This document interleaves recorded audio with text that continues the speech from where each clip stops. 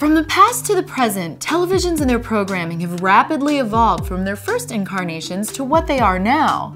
The real question is, what will television look like in the future, say 15 years down the road? Will the entire concept of television be different?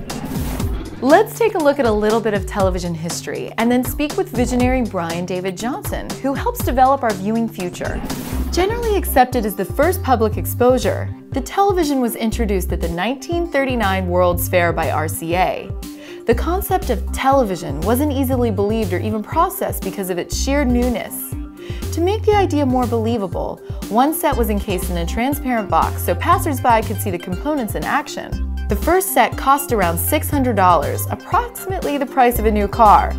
The idea was picked up by some, and NBC started broadcasting programming.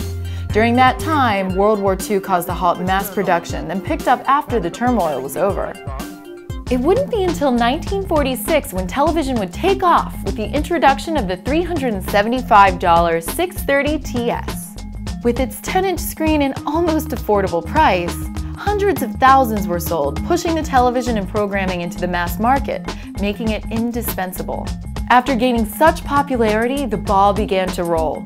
Prices dropped, the size and weights of sets proportional to their viewing screens lessened, quality programming was easily accessible, and then color television. What a new world! CBS was the first company to broadcast in color, and in 1954, the new technology started catching on in the mass market. Another huge advancement was the clicker, otherwise known as the remote control.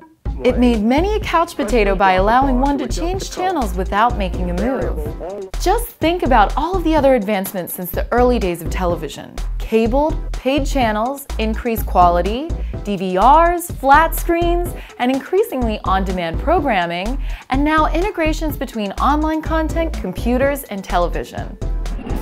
So what's in store for our viewing experience in the next decade? I sat down with Intel researcher Brian David Johnson, who is an expert at predicting just that. I'm here with Brian David Johnson, who is a consumer experience architect with Intel. What do you think the future of TV will be? For me, if we begin to break it down, it's really about taking something that everybody loves, which is television, and bringing it together with the speed and power and intelligence of a computer. Will it still be called television after all of these social aspects and things are kind of integrated into what we traditionally think of as our television set? So I think TV as a concept in consumers' minds will continue to change and will continue to evolve. So really the internet won't kill TV at all. TV is so powerful and people love it so much that it'll just absorb it and it'll just keep on moving. For us, as we move forward, when you have the internet and that connectivity, what it means is you have personalization.